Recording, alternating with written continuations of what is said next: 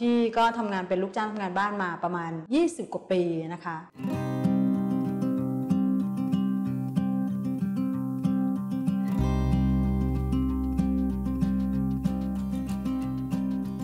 พี่ต้องบอกตามตรงว่าเราอยู่กับอารมณ์เข้ามาในบ้านอะ เจ้านายเขาก็จะปลดปล่อยทุกอย่าง ในในตัวตนที่เขาไปเก็บกดข้างนอกมาอะไรเงี้ยซึ่งพี่บอกตรงเลยว่าเมื่อก่อนเราเป็นเด็กเราไม่รู้หรอก คือเราก็แรงเหมือนกัน พอเจอปัญหาอะไรบางทีเราก็จะใช้วิธีอุ้ยออกก็ออกไว้อะไรเงี้ยประมาณว่าไปหางานอะคือออกจากตรงนี้วันนี้ชั่วโมงหนึ่งเราก็ได้แล้ว เพราะเราไม่เคยคิดเลยว่าต่อไปงานบ้านมันจะมีอายุการทำงาน พอถึงอายุ 30-40 ปีเนี่ย คุณจะเริ่มหางานยากแล้ว เคยทำงานกับนายจ้างมาประมาณ 6 ปีนายจ้างออสเตรเลียนะคะ6ปีแล้วถูกเลิกจ้าง เพราะว่าเขาจะย้ายกลับแล้วเขาไม่บอกเรา ซึ่งเราทำงานมา 6 ปีแล้วเราไม่เคยเราไม่เคยได้รับเงินเดือนขึ้นนะคะซึ่งตอนที่เราคุยกันนะเราสัญญาว่าถ้าคุณย้ายกลับก็คือจะมีค่าค่าชดเชยในการที่เราตกงานนะสัก 3 เดือนอะไรอย่างเงี้ย ซึ่งเราก็หวังเนาะแต่พอถึงเวลาแล้วมันไม่ได้ก็เลยมีปัญหากันนิดหน่อยค่ะ ก็เลยได้เหมือนว่าลีได้ไปเขียนคำร้อง แล้วกรมสวัสดิการก็มีจดหมายมาถึงเขา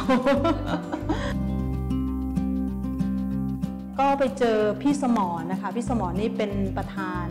รือข่ายลูกจ้างทำงานบ้านคนก่อนแกก็มาชวนบอกเออลีเข้ามาสิอะไรเงี้ยตอนแรกก็ไม่ได้สนใจอะไรก็บอกว่าพี่ทำงานกันเหนื่อยอยู่แล้วไม่ไปตั้งอะไรแล้วองค์กรองค์กรอะไร แต่ว่าพี่พี่พี่สมรนี่รู้สึกจะทำงานกับโฮมเน็ตแล้วก็จะไปเล่าปัญหาให้โฮมเน็ตฟังโฮมเน็ตเขาก็เลยเหมือนแบบแนะนำว่ามันต้องจัดตั้งนะ เพราะว่ารู้สึกว่าคุณกลุ่มลูกจ้างทำงานบ้านเนี่ยเป็นกลุ่มกลุ่มใหญ่พอสมควรที่ที่รัฐบาลต้องดูแล หรือว่าต้องมีองค์กรอะไรที่เข้ามาช่วย รับผิดชอบหรือ support อะไรอย่างเงี้ยค่ะทำสัญญาจ้างอย่างเป็นธรรมนะคะก็คือเป็นการตกลงของนายจ้างแล้วก็ลูกจ้าง ว่าคุณต้องมีลายลักษณ์อักษรนะมันจะได้ไม่เกิดปัญหาทีหลังอะ่ะถ้าเกิดปัญหาว่าเกิดคุณตกลงไว้แค่ทำ8อย่าง แต่พอถึงเวลาคุณให้เขาทำ15 อย่าง 10 อย่างอย่างเงี้ยคุณจะได้เอาสัญญาตัวเนี้ย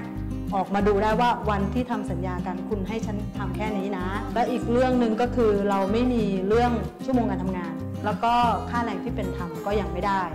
ยังมีเรื่องเนี่ยแหละค่ะประกันสังคมมาตรา 33 ซึ่งเรากำลังเรียกร้องตรงที่ว่านี่แหละเราเจอปัญหาที่ว่าท้องเราก็ต้องออกจากงาน แล้วก็เราไม่สามารถเข้าถึงสิทธิอะไรของรัฐบาลที่เขาให้แรงงานทั่วไปค่ะแรงงานในในในอุตสาหกรรมอะ เขายังมีลาคลอด เขายังมีสมทบบุตร แต่ลูกจ้างทำงานบ้านคือไม่มีอะไรเลย ดูแลกันเองตามอัตภาพในกฎหมายพระราชบัญญัติปี 2541 ที่คุ้มครองแรงงาน เขายกเว้นลูกจ้างทำงานบ้านไว้ ว่าแรงงานบ้านไม่ใช่ไม่ใช่แรงงาน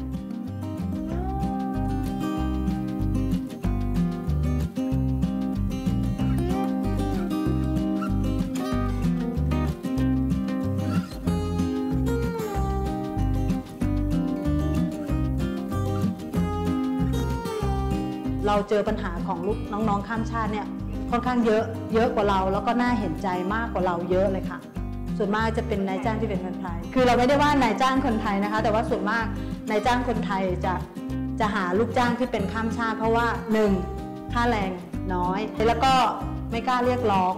เพราะหนึ่งส่วนใหญ่ที่เข้ามาเขาจะถือ work permit มาที่ไม่ใช่ลูกจ้างทำงานบ้านเพราะอย่างที่เรารู้อยู่แล้วส่วนมากจะเป็นพม่าเนาะ พม่าเขาไม่ได้ทำ MOU ที่จะส่งลูกจ้างทำงานบ้านเข้ามาทำงานในต่างประเทศ ซึ่งพอมีปัญหาอะไรรัฐบาลเขาก็จะเหมือนแบบไม่ไม่ดูแลไม่รับผิดชอบ ก็เลยจะเป็นปัญหาของน้องๆ ซึ่งในจ้างคนไทยก็จะทราบดีตรงนี้ก็จะแบบค่อนข้างกดขี่ก็ตอนนี้มีประธานที่ชื่อจำปานะคะ ซึ่งเป็นประธานของแรงงานข้ามชาติ คือพอมารวมกันอะพี่จะเป็นประธานประธานใหญ่ แล้วก็จะมีข้ามชาติที่เป็นประธานอีกคนหนึ่ง ซึ่งเขาจะเช่าบ้านเป็นหลัง ซึ่งซึ่งเป็นจุดศูนย์รวมตรงนี้วันอาทิตย์เขาก็จะมาเจอกันอยู่แถวเจริญนคร เวลาที่เขานัดเจอกัน ถ้าถ้าเป็นสถานที่ใหญ่นะเขาจะไปเจอกันที่วัด เขาก็จะเป็นนัดเจอกันอย่างทำบุญใหญ่อะไรอย่างเงี้ย เนื้อหานะคะก็จะพบปะ พบปะแล้วก็ถ้ามีนโยบายอะไรที่เรามาประชุมร่วมกันเขาก็จะอธิบายให้น้องๆเขาเข้าใจประมาณนี้ค่ะ แต่ว่าเราจะใช้ความเป็นอยู่ของเราทั่วไปนี่แหละ มันไม่สามารถที่จะบอกว่าเฮ้ยวันนี้จะมีประชุมอะไรเงี้ยคือทุกคนไม่สนใจพอเขามาประชุมฉันไม่ไปหรอกคือเหนื่อยแล้ว แต่ว่าถ้าเออมากินข้าวกันนะ สมมุติว่ามารวมกันกินข้าวกันอะก็เรียนทำอาหารไปซะเลยอะไรอย่างเงี้ยอย่างเจ้านายชอบที่แบบสวยงามประดับโต๊ะอะแกะสลักหาหาคนที่ชำนาญมา เรียนรู้ไปในวันที่กินข้าวนี่แหละค่ะเขาจะมีกิจกรรมแบบเนี้ยให้คุณตระหนักว่าการที่คุณมีลูกจ้างคนหนึ่งอะคือเขาต้องอยู่กับอะไร อยู่กับข้าเลือหาสวยหรูของคุณ อยู่กับลูกที่เป็นที่รักของคุณนะอยู่กับพ่ออยู่กับแม่ที่บางคนต้องไปดูแลคนป่วย เขาอยู่กับสิ่งต่างๆ เหล่านี้ที่เป็นที่รักของคุณน่ะ แล้วแต่คุณน่ะดูแลคนที่เขาจะเข้ามาดูแลทรัพย์สมบัติทรัพย์สินของคุณพวกเนี้ยค่ะแบบที่ที่ไม่ให้ค่าเลยที่ไม่ให้เห็นไม่เห็นหัว คือคุณยังมองกรอบเดิมๆว่าลูกจ้างทำงานบ้าน มันก็แค่ดีใช้คำว่าคือชาวบ้านนะคะว่าก็แค่ขี้ข้าแหละเราจะให้อะไรเขาไปก็คือไม่ต้องให้เยอะ พวกนี้ให้แล้วเหลิงอ่าจะเจอคำนี้จะเจอคำนี้บ่อยมากค่ะ ให้แล้วเหลิงให้แล้วได้ใจ ให้แล้วไม่รู้คุณค่าอะไรอย่างเงี้ย คุณเปลี่ยนทัศนคติอะค่ะ เพราะว่าทุกวันนี้โลกมันไปไกลแล้วเนาะ แล้วสมองคนเราอะถึงเขาจะจบมาน้อยอะแต่มันมีการเรียนรู้ประสบการณ์ ซึ่งคุณจะไปคิดว่าคนที่คุณเจออะเจอคนเดียวในชีวิตมันไม่ใช่ มันเจอคนอีกตั้งเยอะแยะ แล้วสิ่งที่คุณเจอบางคนที่เขาเจอลูกน้องที่แบบดีๆ ที่เขาจงรักภักดีกับคุณที่เขาตอบแทน โดยการทำงานให้คุณได้รับผลตอบแทนที่ดีๆก็มีเยอะแยะรีถึงบอกว่าทัศนคติสำคัญที่สุดเลยค่ะ คุณต้องเปลี่ยนได้แล้ว ไอ้ละครคืออยากจะฝากว่าละครทีวี ละครโทรทัศน์ที่ที่คุณสร้างภาพลักษณ์ของลูกจ้างทำงานบ้างว่าต้องเป็นคนโง่ต้องมาจากต่างจังหวัด ต้องแบบเซ่อเซ่อซาซ่าต้องนินทาเจ้านายเนี่ยเปลี่ยนเถอะค่ะ เปลี่ยนทัศนคติตรงนี้เถอะค่ะ ก็คาดหวังว่าวันหนึ่งลูกจ้างทำงานบ้าน จะยืนขึ้นมาโดยที่ โดยที่เราไม่ต้องน้อยหน้าใครคือบอกตรงๆว่าตอนที่ลีเข้ามาเป็นลูกจ้างทำงานบ้านลีไม่ได้ภูมิใจในอาชีพตัวเองเลย ซึ่งคิดว่าเป็นอาชีพที่น้อยเนื้อต่ำใจแล้วก็เป็นอะไรที่แบบ ใช่ค่ะคือคือเพื่อนในรุ่นเดียวกันเน่ยเขาได้เรียนไงเขาได้เรียนหนังสือ ซึ่งเขาจะเป็นครูเป็นตำรวจอย่างเงี้ย พอเรากลับบ้านไปร่วมรุ่นทีเพื่อนก็ถามว่าทำงานอะไรอย่างเงี้ยเราบอกเป็นลูกจ้างทำงานบ้านเรารู้สึกแบบโอ๊ยไม่อยากคุยกับใครเลยอะไรเงี้ย แต่ณวันนี้เราได้เข้ามาร่วมองค์กรเราได้เข้ามาเจอปัญหาที่คนอื่นเขาแย่กว่าเรามันทำให้เรามีกำลังใจ มันทำให้เรา